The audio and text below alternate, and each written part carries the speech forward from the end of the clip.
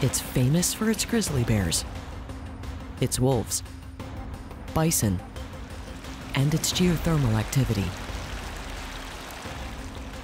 All of Greater Yellowstone is actually still an active volcano today. The geysers, hot springs, and thermal pools signal the unrest that continues just below the surface. There's a lot of volcanic activity underground beneath the GYE. And so that expresses itself in many different ways at the surface. For many years, scientists believed these pools were devoid of life.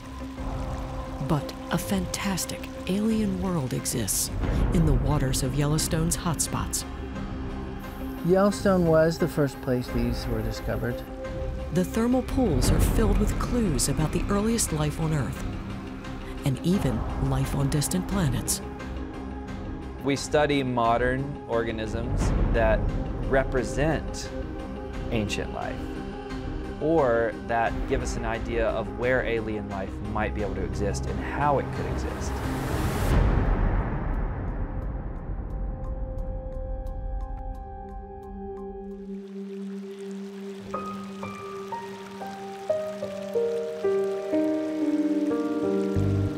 In 1966, scientists discovered organisms in Yellowstone's boiling hot springs and called them thermophiles. A very famous microbiologist started sampling, started doing standard microbiological tests, but at higher temperatures, and really, really discovered that organisms were living in these hot springs. These thermophiles are thriving in an environment that would be fatal to most other forms of life. Thermal pools in and around Yellowstone are a living laboratory where scientists are even able to research potential life on distant planets. Understanding sort of the distribution of microbial life in extreme environments on our planet gives us an idea of potentially where else they could exist on other planetary bodies. Montana State University's Thermal Biology Institute studies bacteria, archaea, and viruses that hide in the springs and pools. One of the pools they're investigating is LaDuke Hot Springs. The fieldwork here, there's a lot of unique safety issues. Stepping into a hot springs would be very dangerous. You can uh, burn yourself very badly. It's so dangerous that we can't show how they actually collect their samples. It's definitely a case of don't try this at home. We are not going into these hot springs with big shovels and digging up truckfuls of material. We're taking the smallest possible samples that we can to get the analysis that we want to get. Brent is like a bioprospector as he investigates hot spring biology.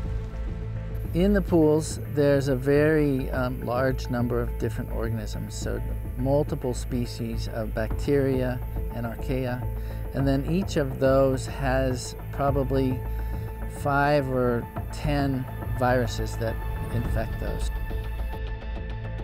They can provide clues as to how organisms lived long, long ago and what types of metabolisms they had.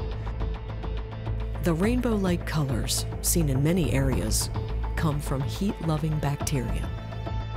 So the photosynthetic organisms give you the greens and the bright oranges. Some yellow come from sulfur precipitation caused by the microbes. Some of the orange is minerals. You can get different colored minerals as well. So it's basically microbes and minerals interacting in the hot springs that give you the colors. Brilliant blue in the center comes from clear water reflecting back blue light, just like the sky. The wild, chromatic beauty attracts tourists, but it also draws scientists that believe these extreme thermal conditions might replicate those found on other planets. Dr. Luke McKay is a microbial ecologist and an astrobiologist.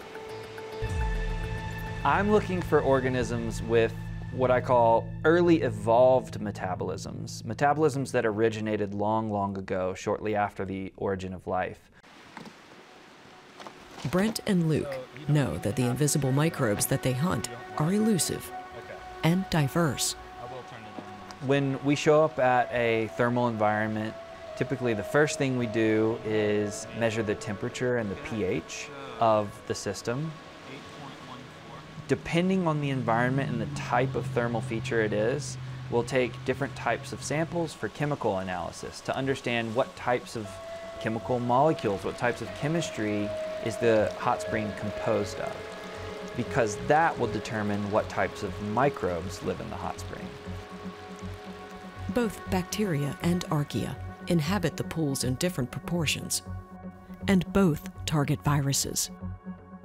And so, depending on the hot spring and the chemistry of the hot spring, the bacteria or archaea will use different chemistry. And so, if you have one hot spring that supports the metabolism of a lot of different archaea, then you'll have a lot of archaea there. And pretty much anywhere where you're going to have a lot of archaea and bacteria, you're also going to have a lot of viruses. And they're going to be in any of the hot springs. These microbes are all part of the tree of life. All life on Earth can be categorized into one of the three domains of life. Those are archaea, bacteria, and eukarya. And bacteria on the tree of life is easily the most diverse of the three domains. Archaea is, is smaller and eukarya is even smaller than that in terms of, you know, if you can imagine an actual tree, it would be like most of the branches are taken up by bacteria. It's crazy because when we hear what organisms are in domain eukarya, we think it's insanely diverse because it's us, it's humans, it's all the animals, insects, it's all the plants, all the fungi, protists, but it, in terms of their DNA, it's actually a very small fraction of the overall diversity of life. Most of that diversity is captured within the microbial world. Single-celled archaea were originally classified with bacteria, but now have a branch of their own. Bacteria and archaea are different. They're branches of life that separated many, many billions of years ago. But then when we started to uh, get molecular information, genomic or genetic information, sequencing genes and comparing genes, we started to realize that bacteria and archaea are incredibly different from one another. Their genes are very dissimilar in many cases. This investigation requires extensive time in the field and in the lab. Oh, cool. In TBI, we're working on a couple of different uh, aspects of thermophiles. One is very fundamental. So we're taking samples from the hot springs and we've got groups of organisms that no one's ever grown in a laboratory and um, nobody knows how to grow them. We find them very common in the hot springs and, and can't figure out how to reproduce that in, in the lab. And so we're doing everything we can to learn about those microorganisms. If we can grow organisms in the lab, we can understand so much about what they're doing. And you can formulate hypotheses based on what you see in the hot spring and then test those in a tube in the lab. I take a sample from a hot spring and I extract all the DNA of all the genomes of all the organisms, all the microorganisms in that hot spring sample. And then I sequence that DNA.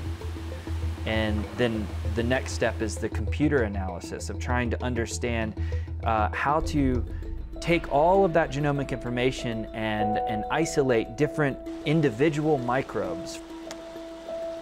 And then there are the strange viruses found in the streaming geysers and pools. You have thermophilic bacteria, you also have thermophilic archaea that both live in these hot springs, and then you have the viruses that infect both the archaea and the bacteria that live in the hot springs. Like bacteria, the word virus often conjures up images of sickness and death. But none of the heat-loving viruses in Yellowstone affect our health because our bodies are too cold. So the viruses in the springs are dependent on those specific bacteria or archaea. So they, they don't infect humans. all have evolved from the earliest forms of life on embryonic Earth. And together, they suggest that life may have arisen in super hot environments. How did life originate here on Earth? And what was the evolutionary history of life? How did life colonize certain environments that are very extreme or distinct from other environments? Some archaea, bacteria, and viruses in extreme environments still live in the same way as our earliest microbial ancestors and use the same sources of energy. We oftentimes find organisms, microbes, with, with early evolved or, or deep evolutionary roots. In other words, they branch off at a very, very early point on the tree of life. And so these are the types of organisms that are likely, they're, they're not the same as what was existing 4 billion years ago, but they're maybe more similar to that than anything else. And so if we understand their sort of modern day cousins of those ancient organisms, we can understand more about those ancient organisms. A new virus found in Yellowstone's thermal pools by Rebecca Hochstein and Martin Lawrence has a structure so ancient that scientists think it may be connected to the root of the universal tree of life. According to a new study published by the National Academy of Sciences, it affects only archaea and it's spindle shaped. It seems to be part of a rare superfamily. Every time we go and sample, we find DNA from organisms that nobody's ever grown, nobody's ever named. And so just the diversity of unknown organisms out there is, to me, the most exciting. This is actually like a very active area of research. And as new genomic information comes in on different organisms, we, we are able to sequence new genomes and we're able to get new sequences to compare and to place on the tree of life new branches start to arise. We start to actually discover new branches of life that we didn't know about before. The possibilities have experts in many fields excited. The main goal of, of my research is to understand what organisms are in these hot springs, but also as an engineer, what can we do with these? How can they benefit society? How can we use them to do any sort of biotechnological task that we, we set at, at hand. As they investigate the ways that life likely evolved, they're inching closer to finding new places where life might be found.